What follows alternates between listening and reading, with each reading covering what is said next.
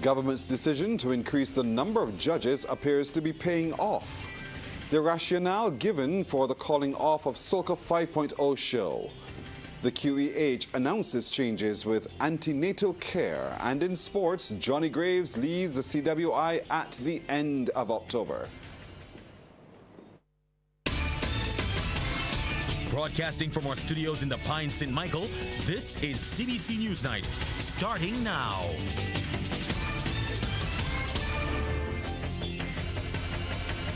Good evening, I'm Pearson Bowen. Barbados is a step closer to having new rules to move cases through the judicial system more quickly.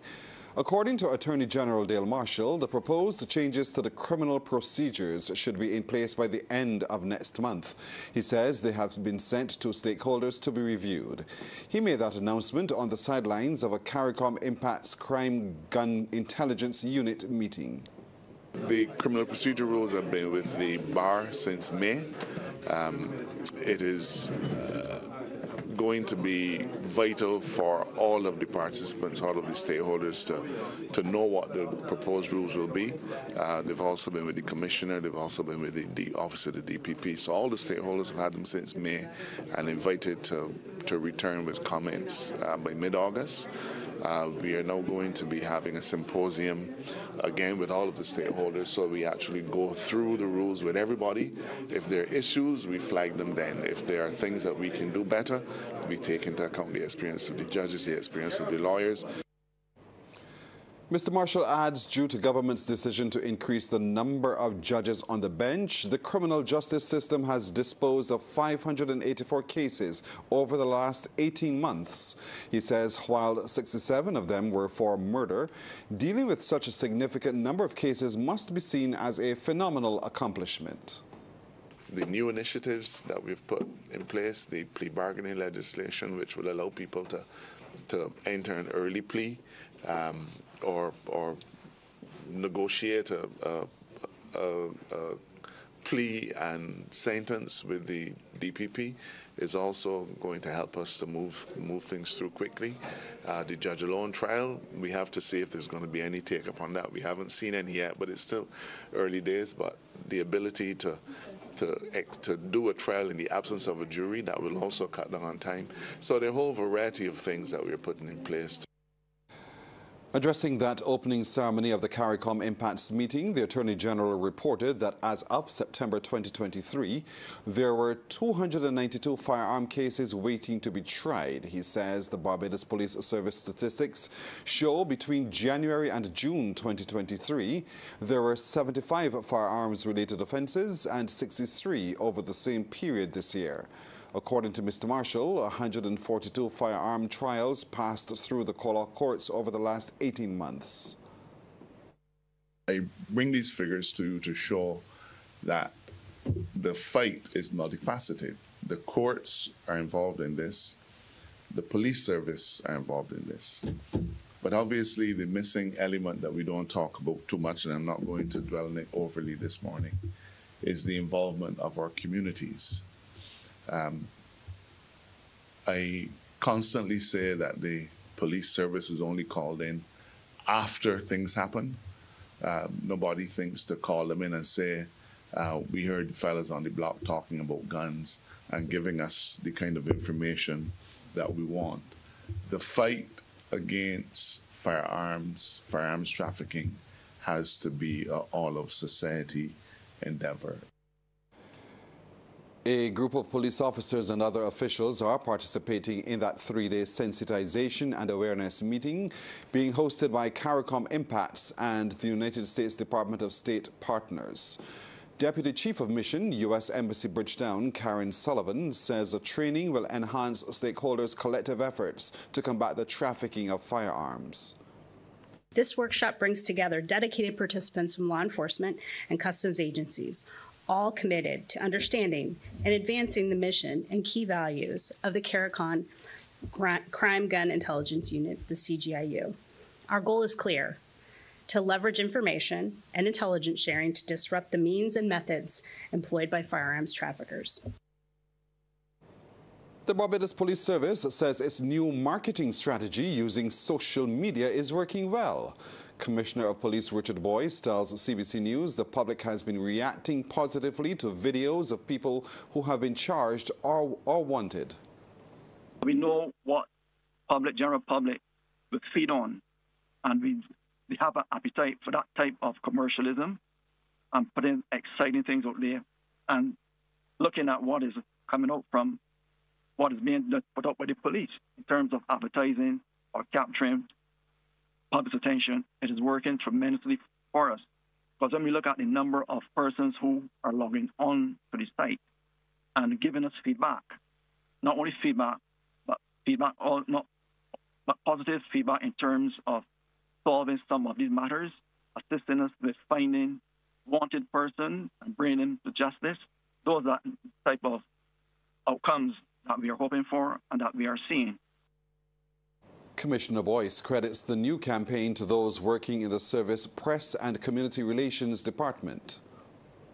Of crime involve the youth and persons just over the age limit, probably not only teenagers, but those in the 20s and 30s. And there's that, that group of persons, that cohort of persons that we need to capture their imagination, and also persons who are over far over that age. So once we put those types of messages out there in such a catchy way, stimulating way, engaging way, things that can capture person's imagination. Water levels rose significantly in some areas of the island today as Met officials issued a flood watch warning for Bridgetown and the Western Districts in Barbados. The higher waters made it difficult for some residents of Review Road, Bush Hall to get into and out of their homes. Motorists also found traversing some roads challenging. The flash flood warning came as the Barbados Met Services closely monitors the progress of the potential tropical cyclone 5, which is approximately 280 miles northeast of Barbados. Met officials say the presence of that system resulted in light wind speeds across the island and moderate to intense showers across western and some central districts throughout the afternoon. Well, Minister of Home Affairs and Information Wilfred Abrams has declared the 2024 Crop Festival one of the best, despite several challenges. Mr. Abrams, who is the Member of Parliament for Christchurch East, was speaking during the constituency's annual general meeting. Minister Abrams sought to explain the rationale for calling off the Soca 5.0 show after it had started. He said there was a bad lightning storm off Barbados with about 300 strikes occurring in 15 minutes. The Prime Minister again went real simple. She said, if this storm passes over and lightning hits down in the botanical gardens, can there be injury or loss of life? And all the meteorologist says yes. With that amount of lightning, if it passes over Barbados and a strike happens in that vicinity, yes, you may get significant injury to persons and loss of life. At that point, the Prime Minister said, and we're hearing nothing more. Pull it. The concert has started. But the concern was more for the lives of Barbadians. Mr. Abrams admits after the decision was taken, the storm veered away from the island. However, he notes the high winds resulted in some challenges for band leaders who were preparing for Grand Kadooment the following day. This led to two hours delay of the start time. A lot of the bands, their preparation for going on the road got hampered. Their things got damaged. Stuff got stripped off of the, the trailers. They had to put themselves back in a position to be able to jump. The decision to delay crop was not a, a willy-nilly decision. The decision to delay crop was because, because a number of the band leaders wanted and asked for extra time because they could not get their bands on the road to meet the scheduled time. I will tell you that some were even talking about postponing the festival. You know that, right? A number of people were talking and saying that the, the, the, the Kadooment should actually be postponed. Chantal was having none of that. Neither was Carol Roberts.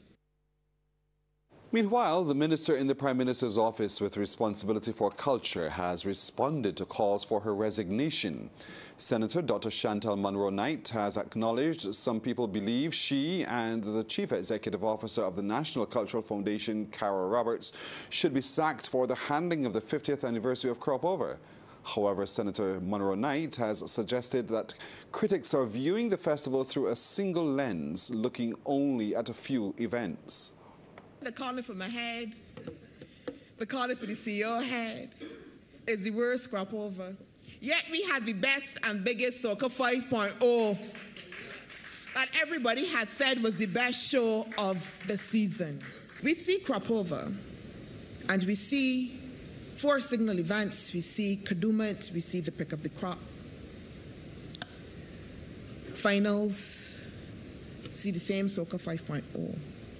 And in our mind, unfortunately, that is crop over. That is the festival, single lens. And that again is a narrative that we have to be very careful of.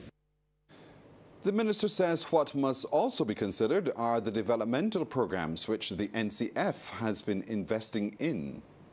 It doesn't show the investment that we have made to train tutors in costume making so that they then go back into the primary schools so that all of the costumes that you saw for Junior Kadooment were made in schools by those children themselves and supported by the National Cultural Foundation. Why? Because we start within the school system, because we are building vision.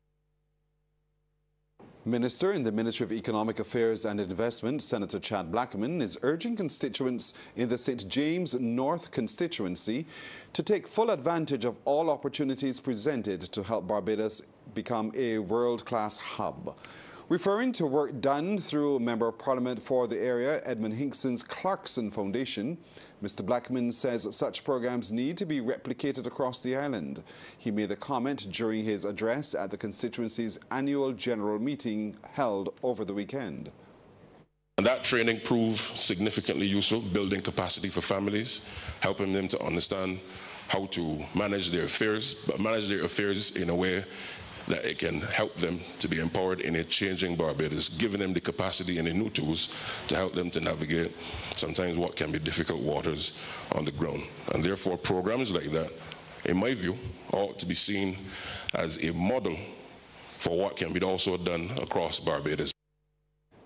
Mr. Blackman adds the St. James North constituency is the beacon for where Barbados needs to go as a developing nation. However, he notes there are some challenges to overcome in the aftermath of Hurricane Beryl and has committed to creating a coastal community resilience program to assist those on the coast to adapt to its new realities. Meanwhile, Mr. Hinkson says the government is doing its best to make Barbados resilient and called on citizens to play their part. A government can't be behind you, as Chad said, when you drop a piece of paper out of a minibus when you're sitting down, or a chefette box, or when you put old fridge and old washing machine out in a gully. And we know last year, wasn't it? Mount Standfast, they had a whole set of garbage out there and rain pouring, you know, in a flood, flood prone area. That is the truth. But then government now supposed to supposed to come when your house damaged as a result of that, government supposed to repair it. Can't be fair. You have to do your part. Still to come, more help coming for fisherfolk affected by Hurricane Beryl. The antenatal clinic is returning to its home base at the Queen Elizabeth Hospital from next week. Chief Operations Officer Dr. Christine Greenidge says effective next Monday, patients will continue to access the clinic's services by reporting to the hospital. She was speaking to CBC News following the Pulse radio show on QFM. It means that we now are back where the clinic was originally located.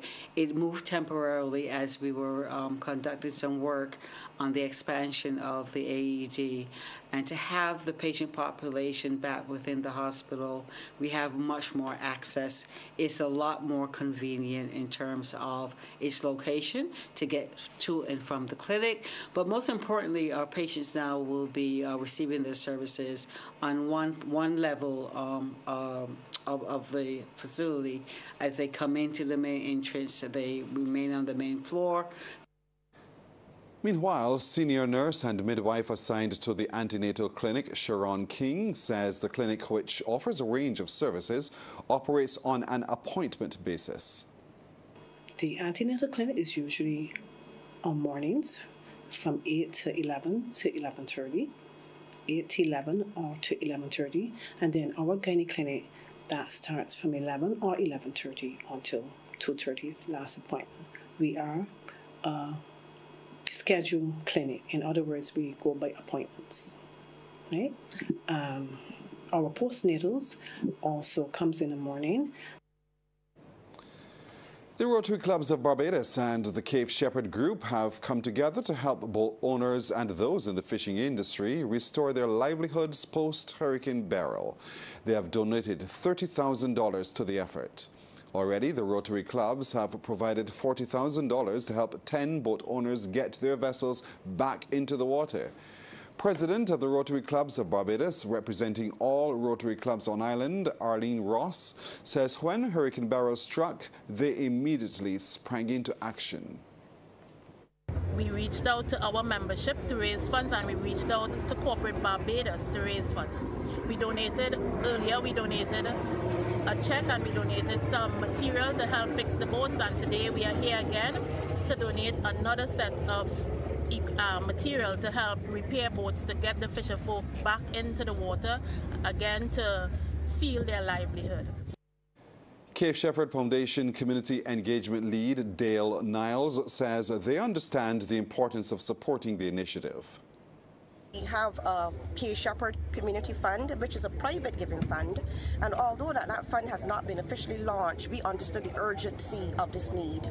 And we stepped outside of that launch because our launch is due um, for next year in January, and we thought it was important to partner with the Rotary to be able to um, donate this money towards purchasing the supplies uh, to help our fisher folk. And president of the Bridgetown Fisher Folk Association, Adrian Muscles Wiltshire, says while he did not lose a boat, seeing the decimation to the industry has been painful for him. And I notified this set of um, fish um, boat owners, they were overly joyed because they know that the longest journey starts with one step. And as far as this, these donations is concerned, is much more than one step because the individual now see a future. They now see a reason for continuing. Well, the spotlight was on young people today as Barbados joined other countries around the world to mark International Youth Day. Among activities was a culture day hosted by the Ministry of Youth at the Quilombo Emancipation Village, where Minister Charles Griffith spoke about initiatives for young people. Anesta Henry has the report. Government is continuing to shed light on the positive things happening with the island's young people and its ongoing efforts to create opportunities for them. Minister of Youth, Sports and Community Empowerment Charles Griffith says the reintroduction of the National Youth Awards is one way the youth of the nation are being celebrated. Mr. Griffith was speaking to CBC at the Emancipation Village, where his ministry held a cultural day for the children from summer camps. In addition to that, we have several initiatives within the Ministry of Youth, Sports and Community Empowerment to ensure that the majority of our young people who want to be on that positive path, that the, all the means are in place for that to happen. Despite heavy showers, scores of children from the ministry summer camps were treated to a cultural display. They also got the opportunity to showcase art and craft they designed at camp over the last three weeks. Literally hundreds of children are here today, and despite the rain, they're in good spirits. And it is always good to be in an environment where you have something constructive happening for our young people. And all of the youngsters that I spoke with so far today indicated that they're having a fantastic time. The craft that I would have seen when I toured the exhibition is outstanding, and I know it is not the extent of the work that was done at all of the, the camps this year so far. International Youth Day is an awareness day designated by the United Nations that takes place on August 12. The purpose of the day, first observed in 2000, is to draw attention to a given set of cultural and legal issues surrounding youth. Anesta Henry, CBC News. Well, also to mark International Youth Day, youth advocates with the Heart and Stroke Foundation of Barbados are on a mission to help the nation's young people change their lifestyle to ensure longevity. Timon Howard and Endijaburi Reese Co tell CBC News they're using social media as one of the tools to get their messaging across. And they say another initiative, their Cool School Nutrition Tours, has been a resounding success. Ms. Risco says there's more work to be done and it has become a personal mission for her to help people with fostering a healthier lifestyle. I think it's understanding the pros and cons and realizing that you have one life to live and you should be able to live it to the fullest. So the important thing is being able to understand that being sick is not cool. It's not cool at all. Like the pain, the frustration, everything that comes with the suffering that the sickness brings is not something that you really want for yourself. Mr. Howard acknowledges the impact of their work, which will take some time, and breaking the patterns formed over generations will be difficult. Because as much as we're saying don't do this, we also got to explain to you, all right, so how it is that you're to facilitate this healthy diet that we're trying to have you all follow and stuff. So there's there's work to be done, as Andrew Burry would have said, not just with the children themselves and the choices that they're making, but in pushing a general cultural shift in terms of what's made readily available. Time now for Sportsnet as we go over to Mark Seal. Mark, good evening. Very good evening, Pearson. Very good evening. We're going to tar- start with cricket, where Johnny Graves' role as Chief Executive Officer of Cricket West Indies is set to end in October this year. Grave had taken up the position in February 2017, assuming the position vacated by Michael Muirhead. Now, earlier this year, Grave had also sounded a warning to the ICC that its revenue share model was completely broken. Now, the CWI release also further stated the board will be initiating a comprehensive recruitment process to select the next CEO. Details regarding that recruitment process will be announced shortly and will be published across various media platforms to keep stakeholders informed. On now to horse racing, where jockey Ricky Walcott rode Papillion to victory and took the 85th Barbados Derby in the Garrison Savannah over the weekend. It was the featured race 7 of the Barbados Derby race day, which carried a purse of $68,000. Barbados finished down the leaderboard at the recently concluded Caribbean Amateur Junior Golf Championship, which was held at the Caymanas Golf and Country Club in Jamaica. The highest placing for Team Barbados was in the girls 15 and under, where Mariella Young was fourth with a gross score of 41. Now in the boys 11 to 13, Joshua Sambrano was sixth with a 45, while in the boys 18 and under, Christopher Jackman and Gordon Chow were also sixth, with Jackman ended with a gross of 11 and Chow a 12. Puerto Rico were the overall winners, topping five of the six categories. Now, the Caribbean Amateur Junior Golf Championships were rescheduled after the original dates were cancelled due to the passage of Hurricane Beryl. Person, take a break here. Have more sports coming up later, though. All right, Mark, thank you. We'll be right back after this break with our business report.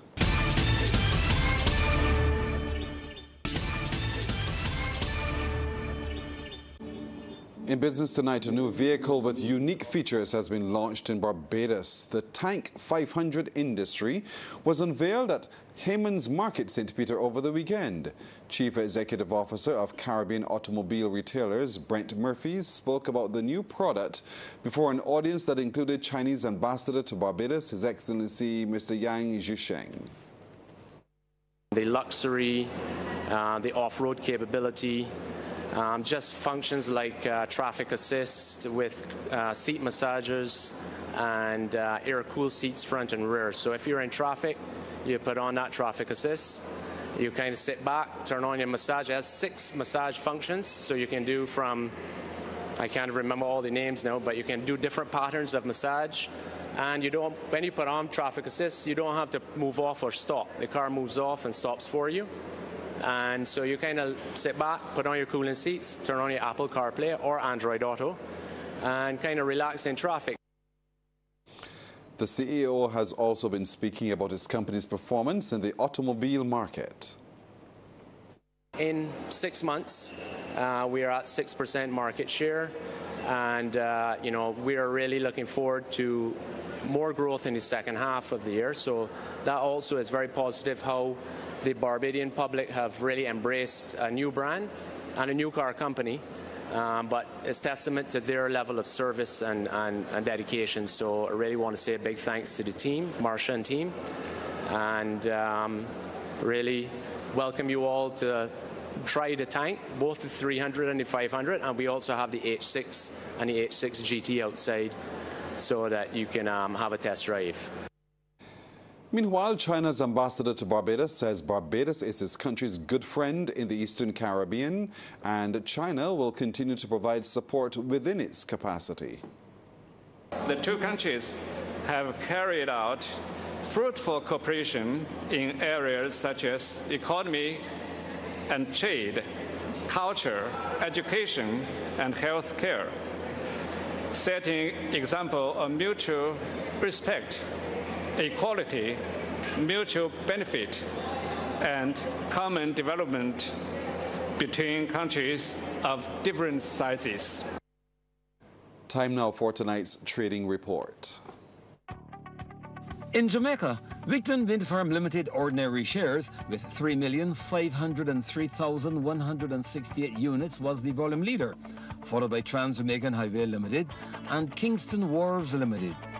In Trinidad and Tobago, JMMB Group Limited was the volume leader, with 27,966 shares changing hands for a value of Trinidad and Tobago $29,364.30, followed by Massy Holdings Limited.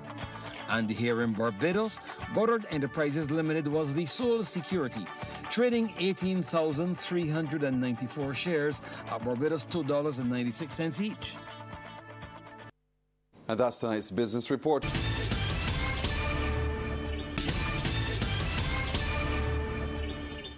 More sporting action now. Once again, here's Mark Seal. Thank you very much, Pearson. The action in the Barbados Road Tennis Open went to the north of the island recently, Diamond Corner in St. Peter.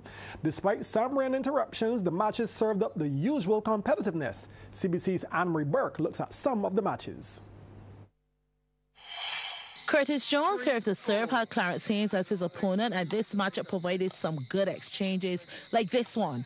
Jones going hard, but Haynes answers. But Jones go for the soft touch, and that proves efficient. Haynes did keep the pressure on and was making Jones work the court to keep the ball in play. And if this reaching shot would cause Jones to fall into the net to keep the game as close as possible. But Jones was not about to fall behind and delivered this lovely drive to Haynes' left. Here we go again with one of the longer rallies. Both men showing class in this matchup. Backhand and forehand returns on point. But watch Jones as he goes for the kill. Nicely mm. done. Haynes had some plays up his sleeve as well. Again, a sweet back and forth between the two men. Haynes, I must admit, had a strong backhand return and Jones quick reflexes to keep things going. And then Haynes spots the opening and capitalizes. This is the kind of raw tennis I like to see. But on the business end of things, it was Jones who held the upper hand. And if this shot put the first game to match point in his favor. And here's where he claimed it. Haynes knocks out of court. Jones first dibs at 21-14. The second game started in the same vein as the first with both players keeping up the pace. Haynes facing the screen now, however, came out with a vengeance and left Jones scrambling on this play. But Jones is not about to let this game slip out of his hands. And despite Haynes making him work for it, those lethal shots were sure injection. And while there are many times the scores drew level, Jones ensured to remain Haynes he meant business. and pinning Haynes 11 points. The latter part of the game was all Jones's. Nice cross-court shot. Game and match point. Jones serves and Haynes returns into the net. Jones wins the second game at 21-11 and the match is his. Also winning on the night was Mosiah Williams in the black, who got the better of Lloyd Burke. Smoothly executed there. Williams took the first game at 21-19 and took the second by the same margin to secure his first victory of the Road Tennis Open. And teenager Giles Graves back in the screen was leading Anthony Prince Haynes 21-6 and then 10-8 in the second game before Haynes retired hurt for Graves to also be a winner on the night.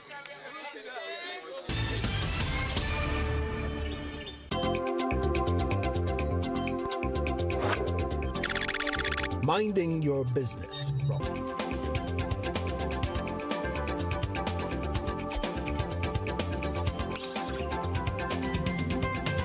On this edition of Minding Your Business, it has been a while since we checked in with Omar Ward and his business Coral by Hand. And it's no surprise that the creative award winning businessman has been continuing to grow from strength to strength. Omar recently embarked on a major project that has seen him creating some amazing monuments in different communities across the island that reflect some of the outstanding men and women from those communities. He talked about how he got involved. That came about by a gentleman named Greg. So he was part of the St. Peter committee and he just saw me of the highway caravan and he tell me about it and I was like okay then he passed back again did he bring this drawing and he said, oh, listen, these are, these names I want to put in the books and whatever. So I told him, um, the best thing I could do, when they do, then when they get to the book part, I got put a towel inside so that I can write on the people names that significant to St. Peter. And also, when it comes to the parish of St. Peter now, what I did, instead of leaving it plain, I decided to look at the actually St. Peter map on Google, mm. and I draw, I draw all the roads and the different locations and different areas, so that when you're looking at it, you see it making sense.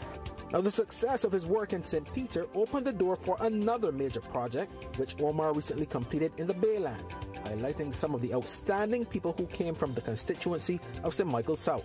And now he is poised to begin work to further highlight the outstanding sons and daughters of yet another constituency, and this one has special significance. The next one give me for Bush Hall, right? That's the um, the Prime Minister constituency. That's the next one I got when they Red Arnold. So I'm making sure now that from this one I step up my game.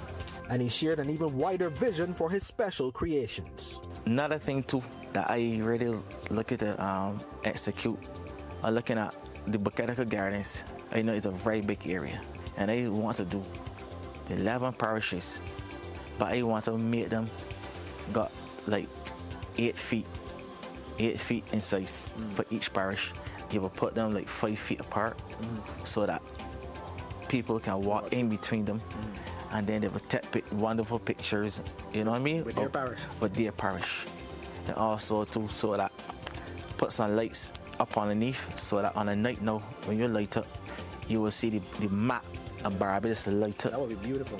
Meanwhile, Omar says one of the greatest joys of his work relates to his ultimate legacy, his son Raniel, who is already starting to excel at the family business. Uh, having my son side of me and doing this work, I want to pass on the legacy so I don't want it to die with me because it's very, it's very um, it's a niche, it's a very niche market, right? So it's best to get my son, um, one or two more young people that really interested to come and join because look, there's a dying trade. My son, he he could catch on very fast, the sauce trade, carve a lot of things by himself. So I really appreciate how my son, Renewal Ward, is really handling himself. In the meantime, Omar recently started to expand his range of products by creating some customized headstones for grieving families. But we'll share more about that venture in an upcoming episode. But for now, if you'd like to get in contact with Omar Ward and the team from Carl by Hand, just give them a call or WhatsApp 241 2765 or check them out on Facebook and Instagram with the handle omarward.carvings or email omarward.carvings at gmail.com. But that's all the time we have for this week's edition. I'm Ryan Broom, and this has been Minding Your Business.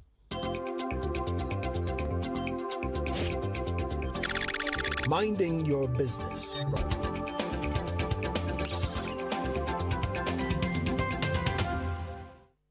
Well, that's our time tonight. Thank you for yours. I'm Pearson Bowen for the crew. To all of you, good night. By God's will, we will see you tomorrow.